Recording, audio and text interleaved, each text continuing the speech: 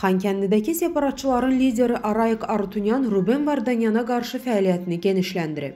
Qlobal İnfos xəbər verir ki, Xankəndini tərk etməzdən əvvəl ermənilərlə görüş keçirən Arutunyan Vardanyanın Bakı ilə bütün danışıqların dayandırılması barədə tələbini qətiyyətlə rədd edib. Bunun qarşılığında o, Bakı ilə sülh məramlıların vasitəsilə görüşlərin keçirilməsi gərəkdiyini bildirib.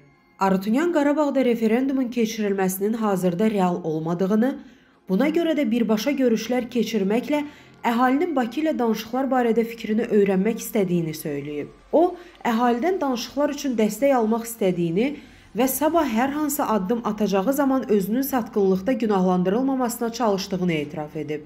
Bununla belə, görüş zamanı Arutunyan ruslara güvənməmək gərəkdiyini və indiyə qədər əldə edilən hər şeyin Bakı ilə birbaşa danışıqların nəticəsi olduğunu iddia edib. Təəssüf ki, bu gün biz yalnızıq.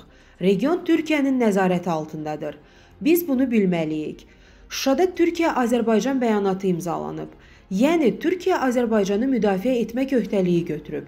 Başqa sözlə, Azərbaycana qarşı müharibə Türkiyəyə qarşı savaş deməkdir. Qarabağ və Ermənistan buna hazırdırmı? Müharibə bu gün Qarabağdakı ermənilər üçün son seçimdir.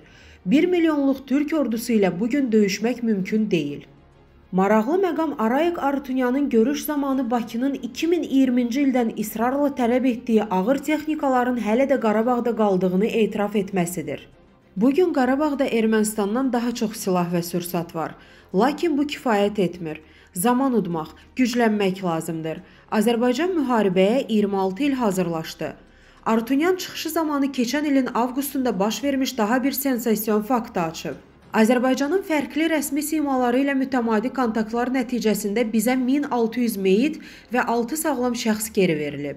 22 avqustda yolumuz bağlanmalı idi. Nə beynəlxalq təzyiq, nə rusların vasitəçiliyi heç bir nəticə vermədi. Biz Bakı ilə görüşdük və nəticə əldə olundu.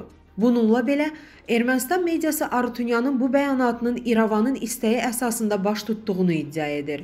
Qəzetə görə Paşinyan bunun vasitəsilə Bakı ilə münasibətlərdə üzərində olan təzyiqi ortadan qaldırmağa və Vardanyan təhdidindən xilas olmağa çalışır. Qeyd edək ki, rəsmi Bakı Xankəndidəki heç bir separatçı qüvvəni tərəf kimi tanımır və danışıqlar aparmır. Azərbaycan daha əvvəl yalnız erməni əsilli vətəndaşları ilə təmasların olduğunu açıqlayıb. Arutunyanın məlum çıxışından sonra Xankəndidə əhali arasında müzakirələr və təşviş daha da qızışıb. Statın sonu Əziz izləyicilər, ən çox və maraqlı məlumatlardan anında xəbərdar olmaq üçün kanalımıza abunə ola bilərsiniz.